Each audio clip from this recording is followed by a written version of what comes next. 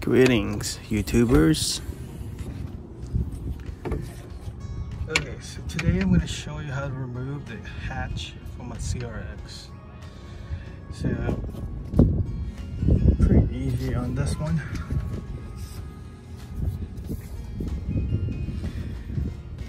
So this is the uh, hydraulic shock that will let your hatch stand by itself.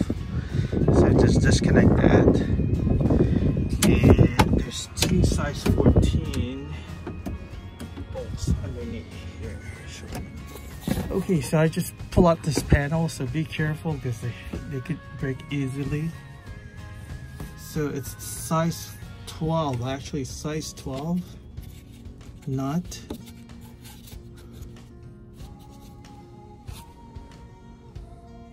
Is just I have to disconnect the uh, wiring harness right there. So the connector got to be disconnected. As soon as I disconnect that, I can pull out the hatch. Okay, I got it out. Um, couldn't pull out the plug, so I have no choice but have to cut it. So I'll get back to that later. So now what I'm doing is just this is my fiberglass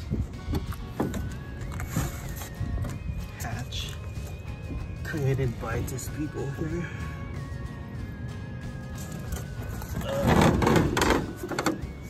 So I'm just gonna put four bolts in there. Coming up.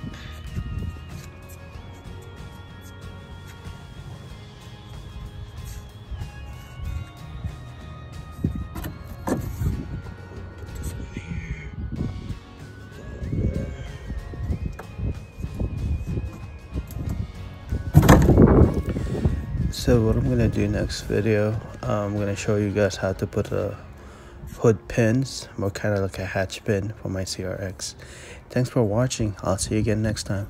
Bye